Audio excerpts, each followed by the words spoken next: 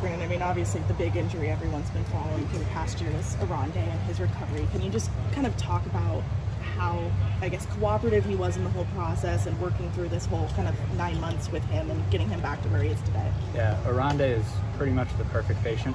Um, I almost had to kick him out of the training room at times. So always on time, hard worker, very good communicator. So it makes it easy for us to um, get him back in the weight room, right, and then return to play from there. So um, I mean, I wouldn't wish this injury upon anybody, but he was a really easy one to work with.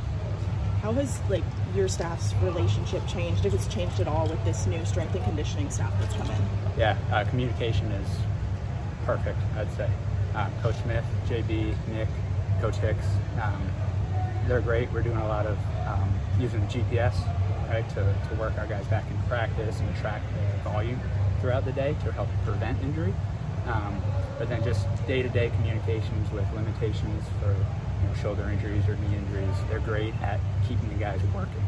Um, high-level athletes, they're used to this uh, recovery cycle, right? They they lift, they get sore, they recover, right? They, they protein shakes, sleep, eat, all that stuff. Um, and even though they might be injured or have a limitation, we're still utilizing that recovery cycle, still working.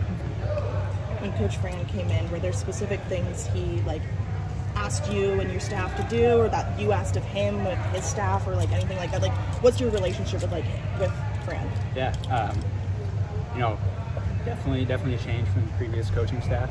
Um, Fran is all about these guys practicing, right? And it's my job to make sure that they practice safely.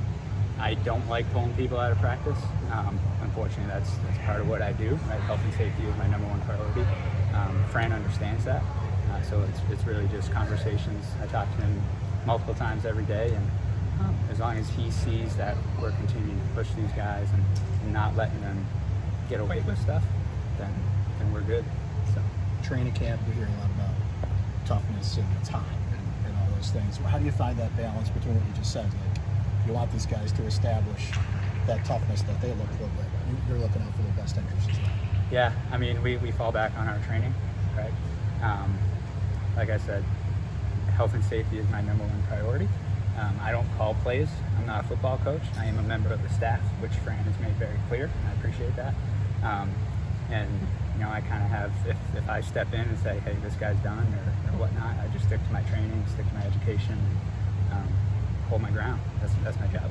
You mentioned GPS. Is that kind of Yep. the, the most advanced thing that you have now at your disposal that maybe you didn't have five, ten years ago to help you track players? Uh, GPS is great. We're also using um, like force plates in the weight room, um, and then NordBord testing to test hamstring strength as well. Uh, that's with um, Vald, a company called Vald.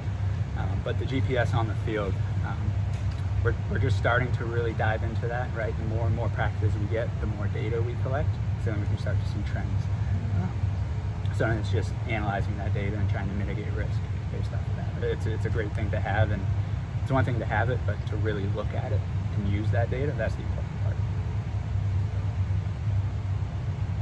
Anything else? Very easy, Brandon. Great. Thank you. All right. Thank you.